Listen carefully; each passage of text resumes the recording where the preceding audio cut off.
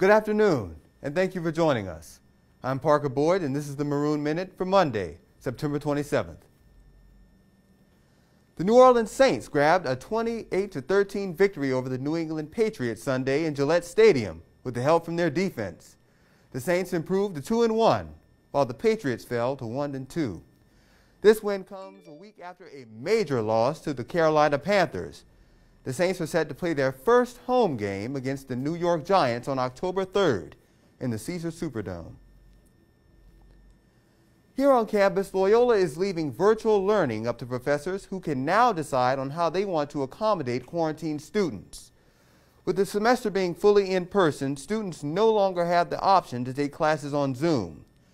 However, a Loyola provost urges faculty and staff who have symptoms to remain flexible with attendance and deadlines. Students who have minor symptoms are encouraged to stay home, and students who have tested positive are required to rapidly get tested and isolate.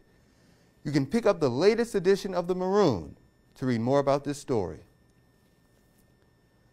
We are currently celebrating Spanish Heritage Month, and today's historic figure is Alexandria Ocasio-Cortez.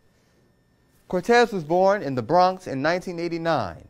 She attended high school in New York and went on to attend Boston University, where she graduated with a Bachelor of Arts degree in both international relations and economics.